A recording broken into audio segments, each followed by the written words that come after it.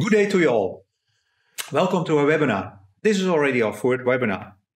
The other three webinars were concerning the port environment. We went uh, into the port management and the port operational side of the port. This webinar is fully concentrating on the maritime shipping industry. The topic this time is the introduction to the maritime resource management. It will be presented by Patrick Wells. The other unique thing of this webinar is it's over more than one continent. So it's being recorded in South Africa with the help of Kazakhstan in Asia, and then the recording broadcasted from here, from Europe, Netherlands, Rotterdam. Because of the different locations and time zones, the presentation is pre-recorded. The Q&A session will be live. As before, please use the Q&A section of this live event to ask your questions. You can post your questions during the presentation. Patrick will try to answer them live and at the end. Please enjoy and see you next time. Dear colleagues, good day. My name is Patrick Wells and STC International extends a warm welcome and thanks all of you for taking the time to join our webinar on an introduction to maritime resource management. This webinar is aimed at highlighting the importance of the need for maritime organizations to embrace and adopt the principles of maritime resource management throughout all levels within maritime organizations, irrespective of whether on board ships or ashore. Over the next few minutes, we will look at a couple of famous examples of shipping and aircraft incidents, all of which could have been avoided if the principles of resource management had been applied. Although they represent the tiniest fraction of all marine incidents, they all have common elements resulting in their disasters. Human error. We will gain an appreciation of the trends with respect to shipping losses over the past two decades and look at the factors that may have contributed to these disasters as well as how Maritime Resource Management Program is able to provide the knowledge, the skills, and most importantly, the attitude to your organization to minimize these risks. Finally, we will unpack the structure and method of delivery of the STC International Maritime Resource Management Program, as well as the expectations and deliverables of incumbents that would need to be met in order to successfully meet the requirements of the program. Please ensure that you use the messaging tool to pose your questions, which will be addressed at the end of the webinar. If you require specific information, please ensure to include your name, your email address, so that we are able to provide appropriate feedback as soon as possible.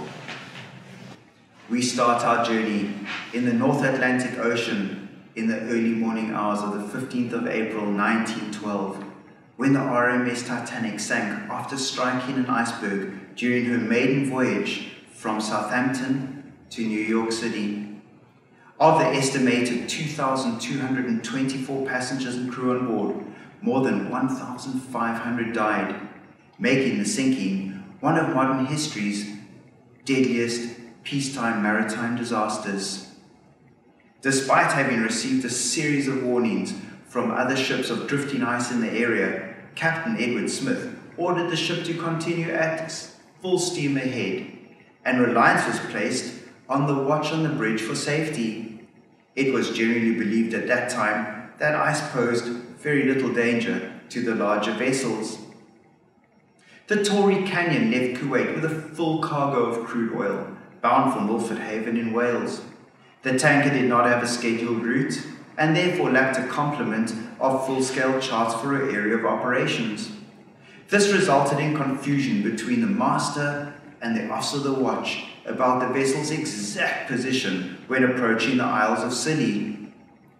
Further random course alterations to avoid a fishing fleet further impacted accurate monitoring of the vessel's track. Delays in course corrections were also experienced due to the uncertainty as to whether the vessel was in manual or automatic steering mode, and the Torrey Canyon eventually struck Pollard's Rock on Seven Stones Reef on the 18th of March 1967. About 50 miles of French and 120 miles of Cornish coast were contaminated, and approximately 15,000 seabirds were killed along with huge numbers of marine organisms before the 270 square miles of slick was eventually dispersed.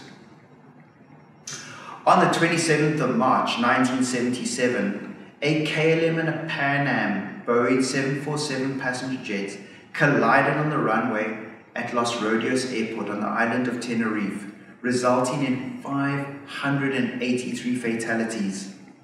Everyone on board the Boeing KLM were killed, while there were only 61 survivors on board the Pan Am Boeing, all of whom were located in the front section of the aircraft.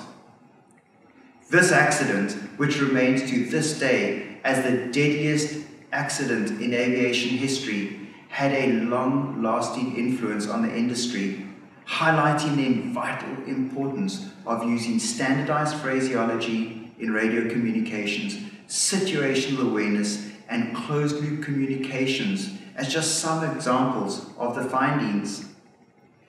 It resulted in the establishment of crew resource management as a fundamental part of airline pilots training this training proved to be so successful that it was quickly adapted into the maritime environment as bridge resource management and is now known as maritime resource management. The Herald of Free Enterprise was working the route between Dover and the Belgian port of Zeebrugge, which was not her normal area of operations. She had adopted a ballasting procedure to ensure that her loading ramp was able to meet the quay. She was also understaffed and under extreme pressure from Townsend Thoresen management to maintain an unrealistic sailing schedule. On the night of the 6th of March, 1987, the ship left harbour with her bow doors open and with the sea immediately flooding her lower car decks. Within minutes, she was lying on her side in shallow water. The immediate cause of the sinking was found to be negligence on behalf of the assistant boatswain, who was asleep in his cabin when he was responsible for closing the bow doors. However, the official inquiry placed more blame on his supervisors as well as the general culture of poor communications within the Thoresen Townsend organization. Of the crew of 80 and 459 passengers, this incident sadly claimed the lives of 193 persons. On the 24th of March 1989, the Exxon Valdez, bound for Long Beach, California, struck the Prince William Sound's Bligh Reef, spilling 10.8 million gallons of crude oil. It is considered the worst oil spill worldwide in terms of damage to the environment. Many human factors contributed to this disaster, such as improper con, ineffective use of available navigation equipment, the master allegedly being under the influence of alcohol, as well as the vessel departing from her planned track to avoid icebergs. It was also found that the crew fatigue played an important role in this disaster, as the Exxon Shipping Company failed to supervise the master and provide a rested and sufficient crew for the Exxon Valdez. The disaster did, however, result in the International Maritime Organization introducing a comprehensive maritime pollution prevention rule, which we know as MARPOL, through various conventions. Possibly one of the most well known incidents in recent maritime history is that of the Costa Concordia, under the command of Captain Francesco Schettino, departed the port on the evening of the 13th of January 2012 on a seven night cruise. At 21:45 local time, in very calm seas, she collided with a rock on the western coast of Italy. A 53 meter long gash was made in the port side of the hull along three compartments of the engine room, which resulted in power losses leading to a total loss of propulsion and electrical systems, which crippled the ship.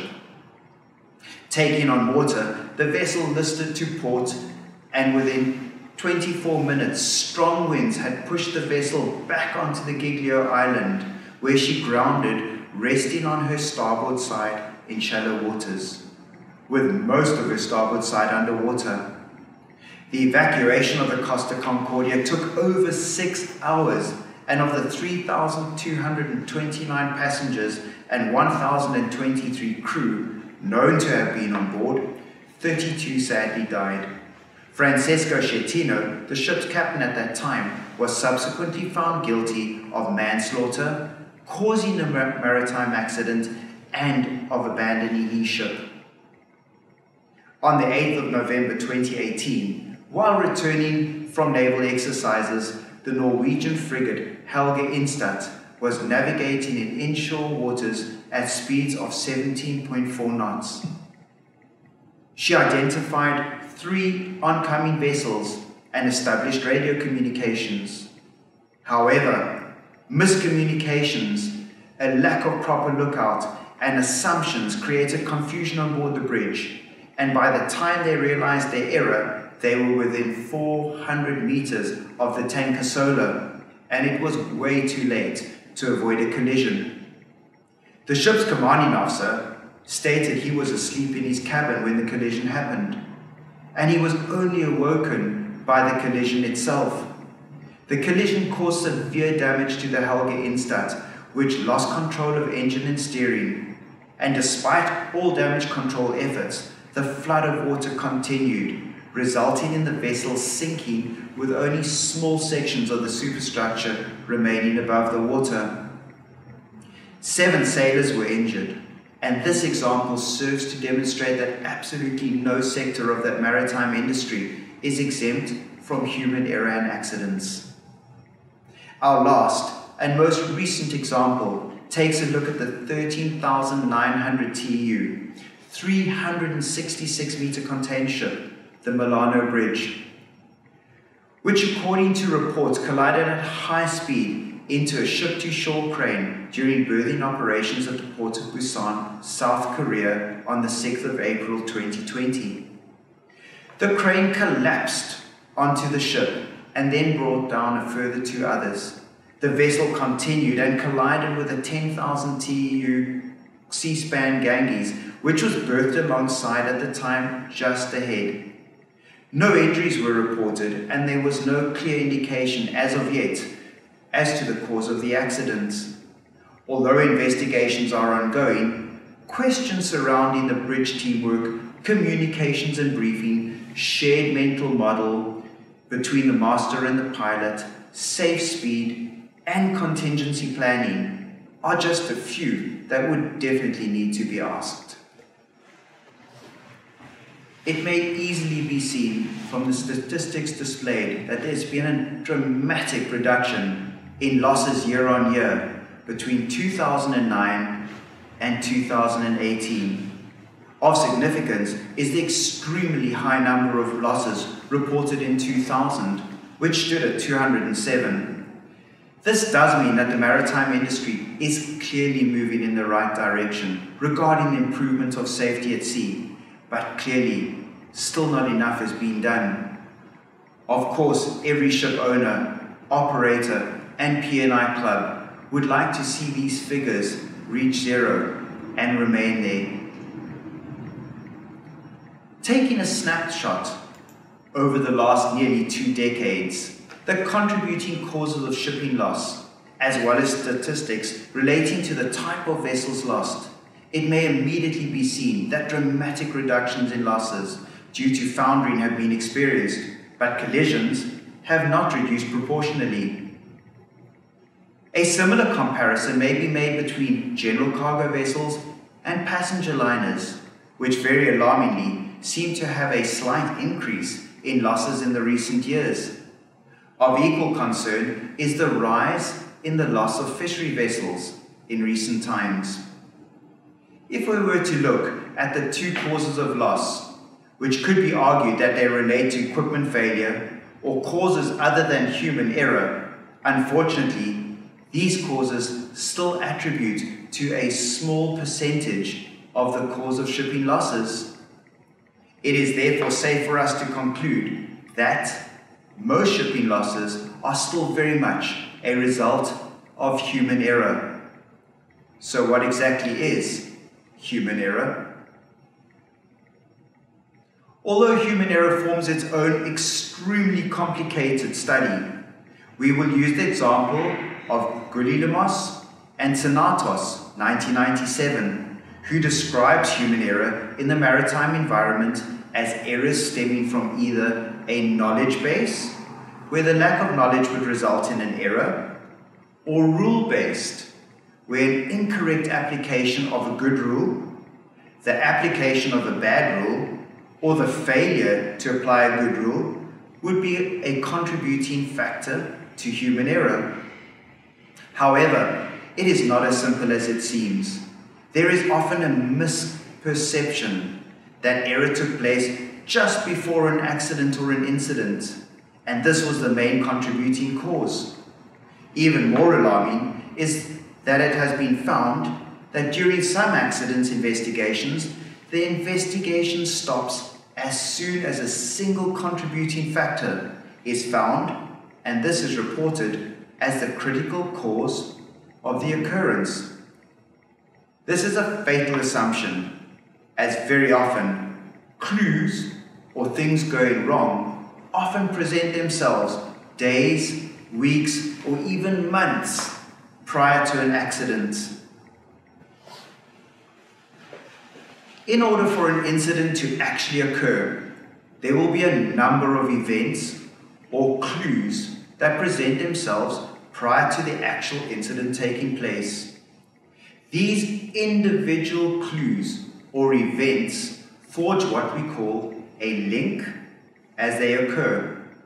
And as each event takes place or clue presents itself, an additional link is forged which ultimately results in the creation of what we know as the error chain.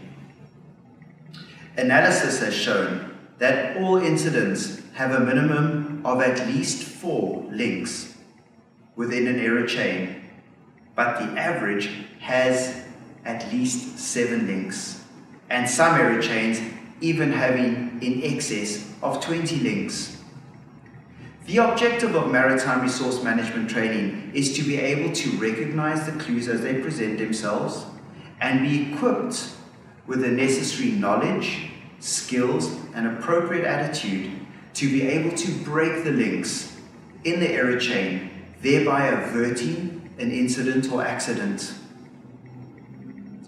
The combination of errors leading to an incident or accident are countless Although during the Maritime Resource Management Program, we will study contributing factors as well as mitigating measures in depth. Analysis has shown some of the more common examples of errors contributing to an accident would include, but certainly not be limited to, distraction, which may arise from many forms, such as radio communications, internal telephone call, background noise, or even something as simple as a light being switched on during hours of darkness. Often we do not even realize that we are being distracted and our attention has been diverted until it is way too late. Confusion may be caused by many things, ranging from an automation failure on an ECDIS or a radar, as an example, or from a misunderstanding of a verbal or a written order. As we witnessed in the Torrey Canyon accident, neither the master or officer of the watch were confident of the ship's actual position, as well as not realizing that the vessel was on automatic steering whilst trying to alter course manually. Breakdown in communications is one of the most common contributing factors leading to an accident. This was very evident in the Pan Am KLM collision in Tenerife, where the pilot of the KLM Boeing believed he had been given clearance to take off, whilst in fact, the air traffic controller had told the pilot of the Pan Am Boeing to report when clear of the runway. The likelihood of miscommunications increases exponentially when you add language barriers as well as accents into the mix. This is why the need to fully understand and practice closed loop communications is so essential. How often do we believe that sending the lookout to go and fetch something whilst on watch, or leaving the bridge unattended, even for a few minutes, whilst in open ocean, will be okay. Nobody will know. In the case of the Torrey Canyon, the master sent the officer of the watch off the bridge on three occasions just prior to the grounding. No wonder there was such confusion on the bridge with regard to the actual position. Any such deviation from an accepted bridge procedures we refer to as improper con, which unfortunately attributes to the cause of many maritime incidents.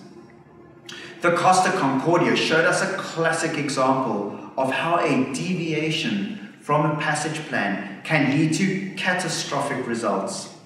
It is obviously acceptable to deviate from a passage plan if required, but this should only be done after a number of maritime resource management steps, such as short term strategy, have been followed and the deviation has been proven to be safe to execute. These are all tools that will be unpacked carefully during the Maritime Resource Management course. Too often, we witness vessels failing to adhere to collision regulations or not adhering to safe speed in the case of the Norwegian frigate Helge Ingstad. If we study accidents that occur in high density areas such as the English Channel, the Singapore Straits, just as two examples, we find that the majority of accidents were the result of masters and watch officers violating rules and procedures. The Herald of Free Enterprise provides us with a classic example of procedures that had not been followed and the vessel leaving the berth with her bow door still open, despite strict reporting procedures that should have been followed. Complacency is unfortunately an element that creeps into routine operations. As a person becomes more familiar with his or her duties and operations, and longer periods exist between anything out of the ordinary taking place, it is then human nature to begin to relax and believe that nothing will go wrong, until, of course, it does. Complacency is one of the most difficult contributing factors for us to manage. And this is only possible when correct attitude to safety is maintained at all times, which is one of the key outcomes of the STC International Maritime Resource Management Program.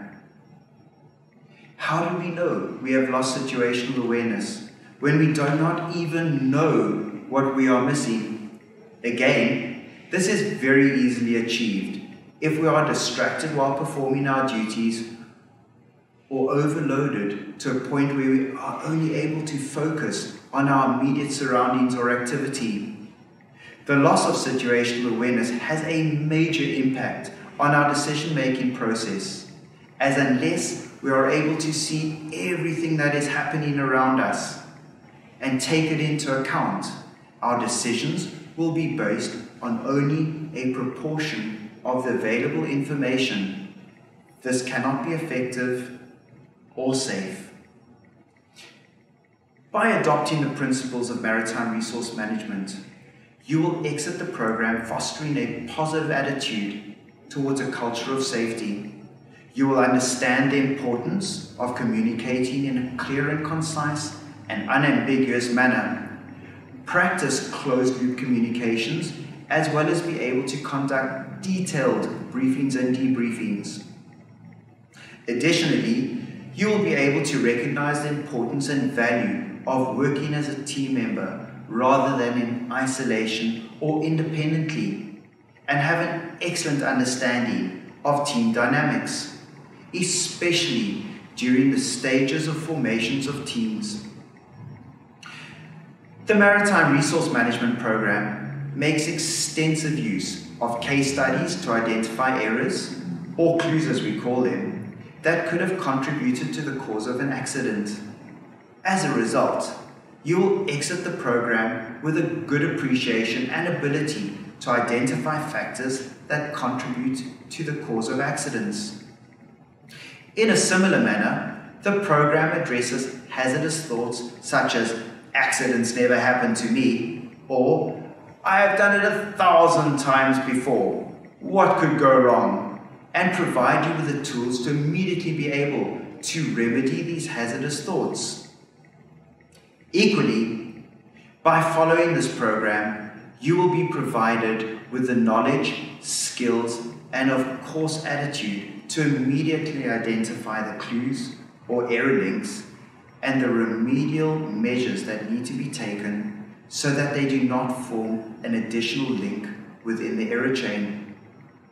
The less error links in the error chain, the less likely that an incident or accident will occur.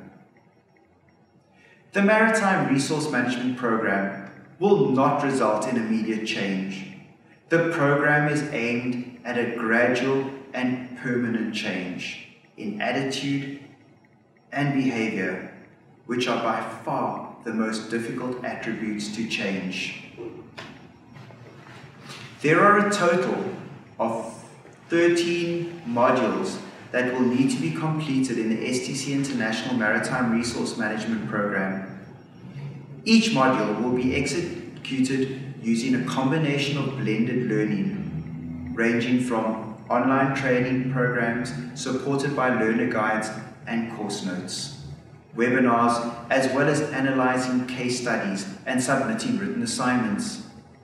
You will be required to attend online group discussions for each module where questions will be answered as well as feedback provided on your case studies. Each candidate will also be provided with a personal written feedback on each submitted assignment. Candidates may also choose to take this distance learning pro uh, program one step further and enroll on a two and a half day practical simulator component where all the elements of maritime resource management will be practiced using real life onboard scenarios in accredited simulation centers. Those of you who choose to elect to undertake the simulator component upon completion of the distant learning program will receive full STC International Maritime Resource Management course completion certificates. Those of you who follow the distance learning program and choose not to undertake the simulator component will receive an STC International Certificate of Completion for the theoretical component of the program. Once again, I would like to thank you for taking the time to join the webinar, get to understand the importance of why maritime resource management is so important to your organization irrespective of the level of your employees. Please feel free to drop your questions onto the link. If there's anything of importance that you need to know, please send us an email. We will endeavor to get back to you as soon as possible. But for now, I will remain right here and answer any questions that have been posed. Well, greetings again from a sunny Cape Town in South Africa, and thank you once again for joining this webinar on the introduction to maritime resource management. Some great questions have come through, so I thank you for that as well. And uh, the first one does make me smile because it's the first question that we get asked irrespective of, of where we facilitate this program um, around the globe. And uh, the question is uh, pretty much a very rigid hierarchy and rank structure exists on board ships and is often needed to maintain discipline. How does the Maritime Resource Management course impact on this? Great question and a nice place to start. The Maritime Resource Management Program will never, ever, ever interfere or influence with a hierarchy or rank structure on, on board any ship or in any organization. There is a formal structure that obviously needs to maintain. The program gives not only those um, in um, managerial positions, but those in the junior levels, the perfect tools to be able to work in, in unison with one another. So an example, if a junior officer on board um, is struggling to accept perhaps a culture or a communication or a management style of, of a senior officer, it gives that junior the, the tools that he or she needs to be able to manage the relationship and integrate into a team in a, in a proper and appropriate manner. For example, if a master of a vessel doesn't want to hear any input from anybody, very authoritarian master, then it also gives a junior the necessary tools to be able to challenge in a diplomatic way, not the person themselves, but the concept, whether he or she feels that uh, an appropriate plan has been made or an action is being taken, and just provide input because everybody on board a ship, irrespective of the level, has gone through a certain amount of training required by the IMO and therefore obviously has good input to add into any scenario or environment.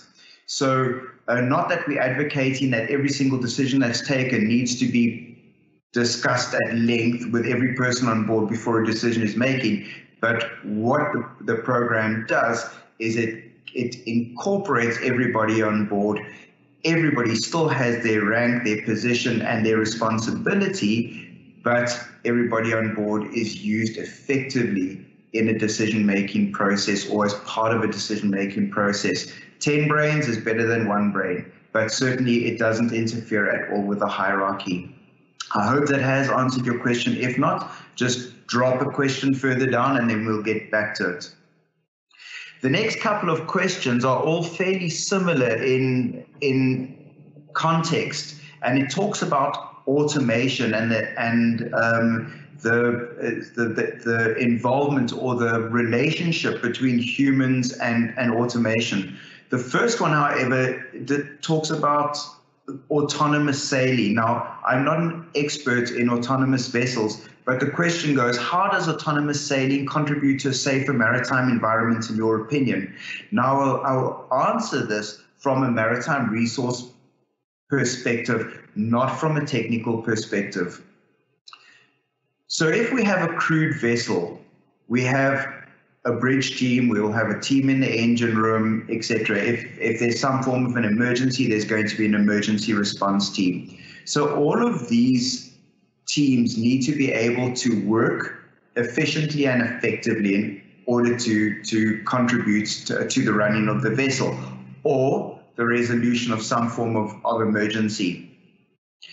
So whether your ship is manned or whether your ship is not manned, the principles will apply. Now, when we look at some of the questions a little bit later uh, that have come through, we will talk about the relationship between human or the interface between human and uh, the, the equipment. So you can imagine autonomous vessel may, let's just for a moment assume that there's absolutely nobody on board there still has to be a control team ashore that is monitoring every single aspect of that vessel and be able to override in the case of some form of an emergency. So you can imagine the ship being a piece of equipment and then the team ashore being another part of the team. So you will still get communication between the ship and the team ashore. If an alarm goes off on the ship, it is essentially sending a challenge to the team ashore saying, hey, watch out, something isn't going on in the in that is supposed to be going on. We need to take some form of action, or please be aware that something is out of the norm. Now, the team ashore can either override that, they can they can take a decision to ignore it or they can take a decision to act on it. So that would be closing that communication how they how they respond. So already we see some of the components of uh, maritime resource management coming through quite strongly in terms of autonomous vessels.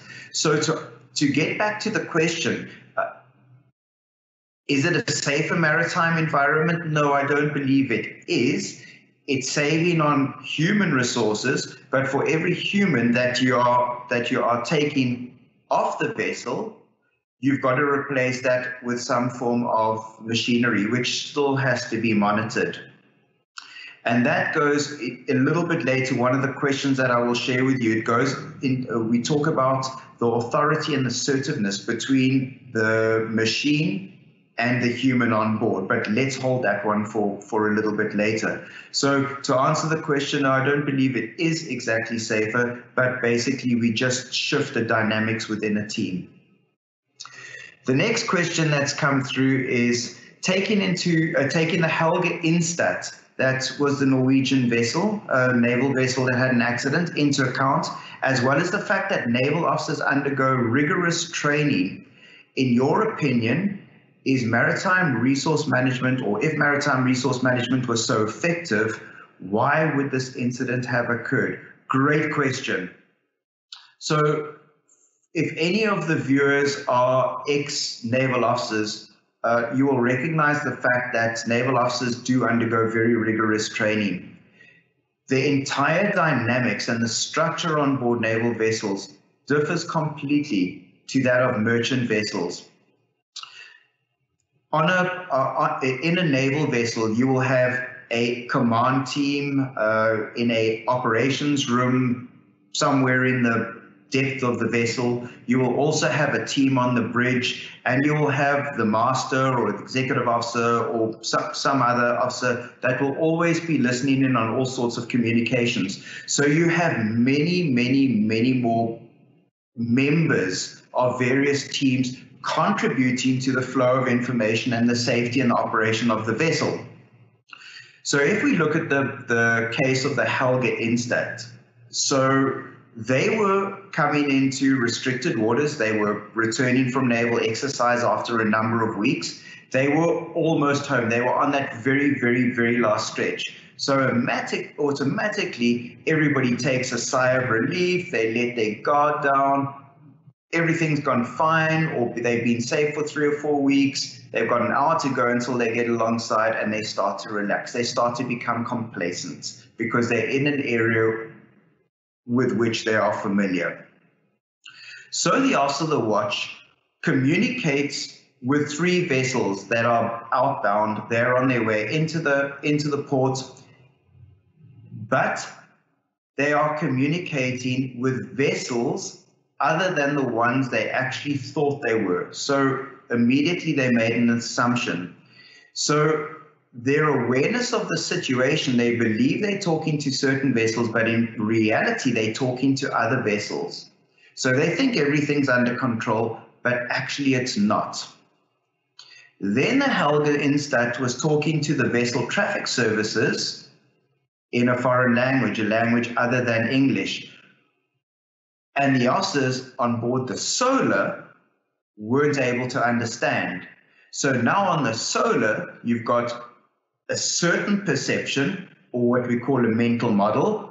On the Helge Ingstad, they've got a completely different picture, and the two vessels are, may as well be worlds apart, except the reality of, of, of the fact is that they're very, very close. By the time the team on board, the Helge Ingstad, realized what was going on, it was way, way too late, and they collided with one another. So you can see the links of the error chain building up slowly. So although they've got many, many, many more people who are all contributing to the safety of that vessel, the principles of maritime resource management, closed loop communication, challenge and response, situational awareness, they were all overlooked and each one contributed to a link of the error chain. And as we said earlier, you need only four links for an accident or an incident to take place. If we had to unpack this further, we would probably pick up 15, 20 of them. So, irrespective of training, if the fundamental principles and protocols are not adhered to, if anybody within that team had realized, hey guys, or team, we're not actually communicating with the right vessel. And they had challenged at that point very, very easily that error chain could have been broken. So, to cut a very long story short, basically the principles of maritime resource management weren't adhered to and ultimately resulted in an, not the only cause, but it participated, it contributed to that accident. I hope that has answered that question. If we move on to the next one, uh, within the webinar, you state that MRM is an important for all levels, whether on board or ashore. Taking into account the amount, amount of automation being introduced on board, do you consider maritime resource management to be future proof for seafarers? Great question. And this also can be answered in sort of combination with the very first question or the second question that we that was posed. So yes, I do believe it's it's future proof. And why do I say that? And I go back to equipment being part of the team. What we have to be very careful of here is the amount of authority that we allow a piece of equipment to, uh, to assume. So we have two types of, of, of people. We have those that 100% will rely on electronic equipment. So whatever it does, whatever it tells you, it's right. And it never is challenged by an officer of the watch or an officer of the watch of an engine room.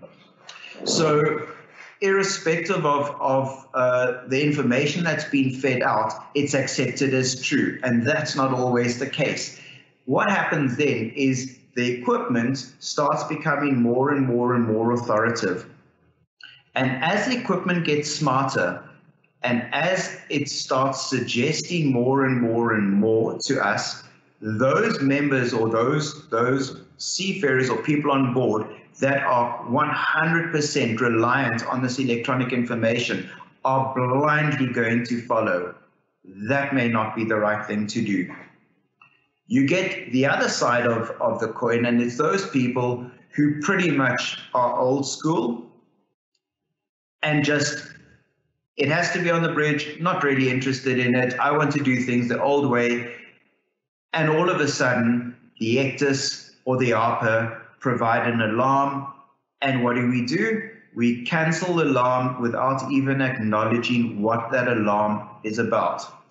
Now, that alarm is challenging the officer of the watch, whether in the engine room or whether on the bridge. It's saying, hey, please take attention. Something is out of the ordinary.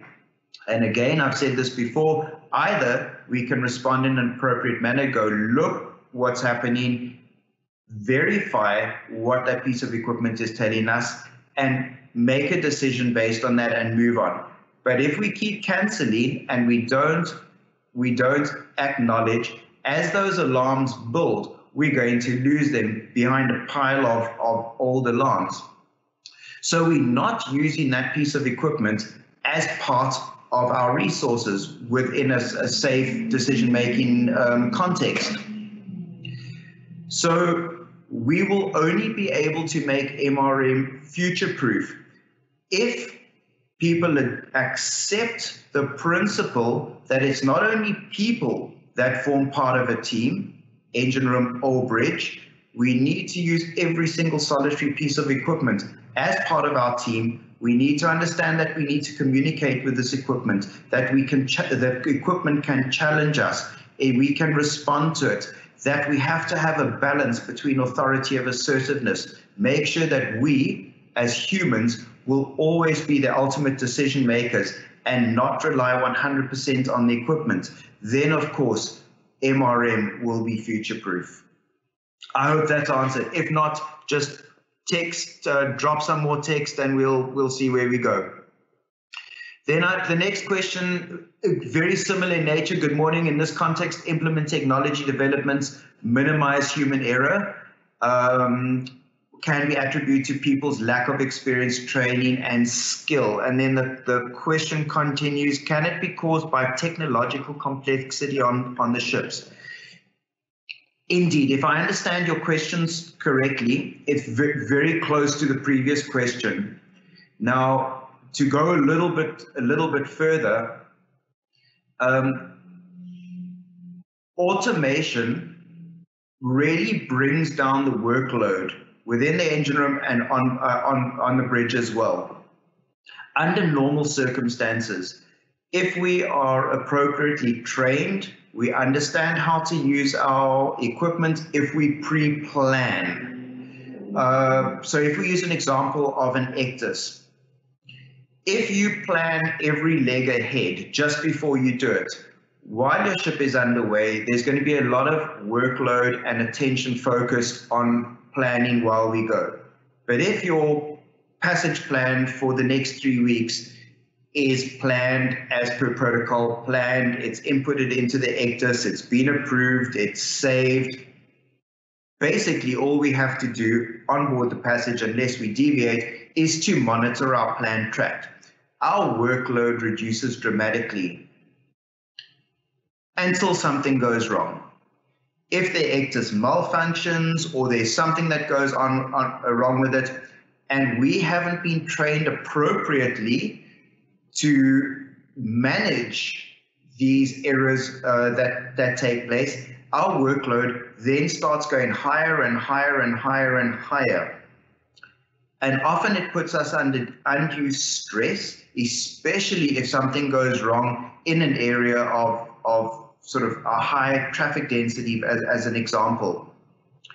And then our lack of training, our lack, our lack of experience is going to actually detriment us in our decision making. But if we're appropriately trained, if we have the experience, if you practice the what ifs during the quiet time so that when something goes wrong you can immediately start start correcting it then of course it's going to support you so nothing will ever take away training and expertise in terms of um, in, in, in, terms of um, our ability to to manage a vessel or to cope with a particular uh, circumstance or situation.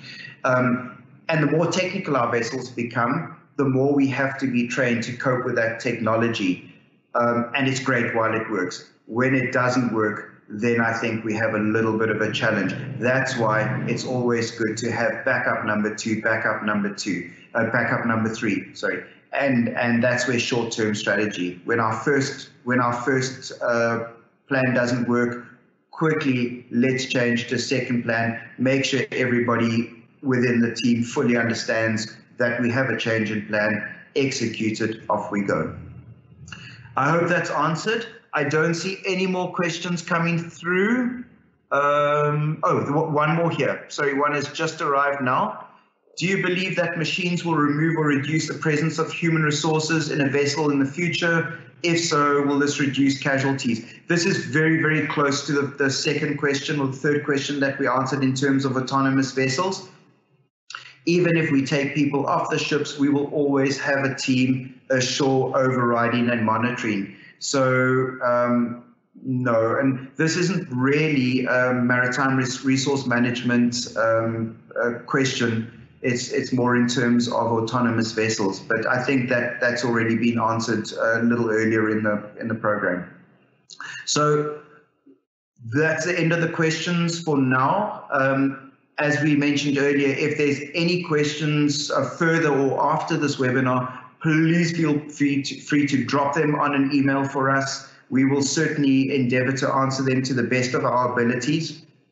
We do look forward to uh, registrations on the program and hopefully see you um, during yeah later in the in the program. It's uh, the first of the the venues. Thank you very much. Take care. Stay safe.